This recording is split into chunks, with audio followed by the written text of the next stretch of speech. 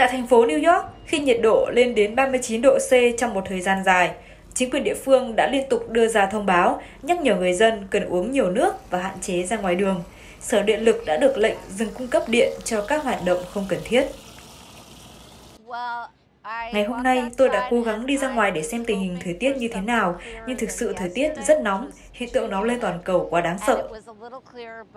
Tôi cứ đi đến đâu là mồ hôi lại đổ đến đấy. Đặc biệt, khi đi trên tàu điện, tôi cảm giác như mình đang đi sông hơi vậy. Trong đó, thủ phủ Phoenix của bang Arizona, nước Mỹ đã trải qua cái nóng hơn 42 độ C trong 16 ngày liên tiếp. Đến ngày 15 tháng 7, nhiệt độ đã lên đến 43,8 độ và có thể sẽ tăng lên đến hơn 46 độ C. Trong khi đó, nhiệt độ ở thung lũng chết, bang California cũng được dự báo sẽ đạt đỉnh đến 54 độ C trong ngày 16 tháng 7.